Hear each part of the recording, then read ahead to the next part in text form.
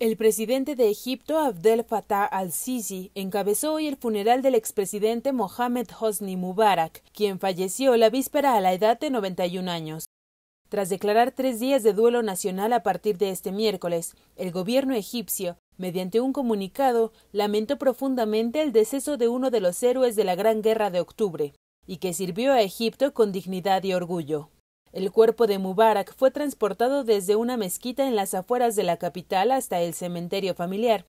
resguardado por una ceremonia militar. La red de televisión estatal del país transmitió el evento, incluida una oración fúnebre a la que asistieron familiares y exfuncionarios del régimen de Mubarak. Bahrein y los Emiratos Árabes Unidos anunciaron que izarán sus banderas a media asta y guardarán un día de luto por la muerte de Mubarak, quien gobernó durante casi 30 años antes de renunciar forzosamente en 2011 por un levantamiento civil, en el que al menos 841 manifestantes fueron asesinados y miles resultaron heridos.